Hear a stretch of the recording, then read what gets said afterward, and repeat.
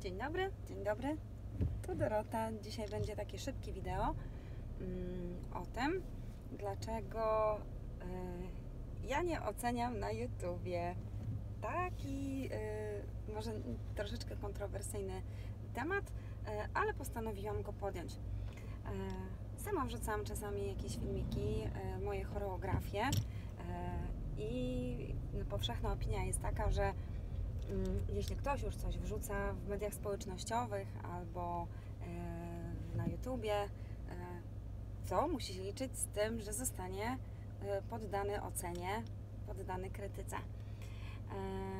Sama zrobiłam w swoim życiu może ze dwa razy tak, że dałam komuś łapkę w dół i było mi z tym strasznie źle.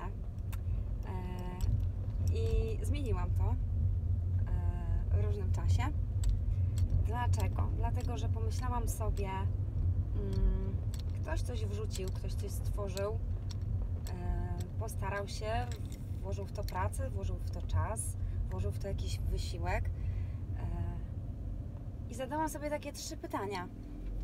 Bardzo proste. Yy, jeśli kogoś ocenię, to co mi to da? Co to da tej drugiej osobie? A przede wszystkim, czy ja jestem ekspertem od tego, żeby coś oceniać. Więc nie oceniam negatywnie i bardzo nad tym pracuję i też zachęcam do tego każdego. Dlaczego? No, pewnie większość z Was zapyta, no przecież jesteśmy ciągle poddawani ocenie, albo mamy do tego prawo. Mamy prawo do tego, żeby wygłaszać swoje opinie, yy, swoje zdanie na dany temat i oceniać.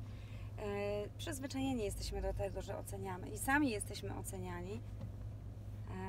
E, już w przedszkolu, już w szkole podstawowej wystawia nam się oceny. E, przecież ludzie są różni. Jeden, jeden jest dobry z matematyki, inny jest dobry z historii, inny z muzyki.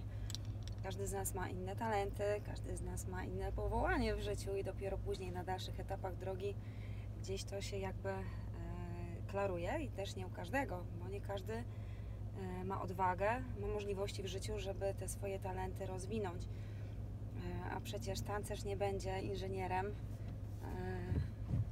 albo nauczyciel nie będzie świetnym przywódcą, prezesem firmy spółki naftowej na przykład. Takim to za tematem bieżącym.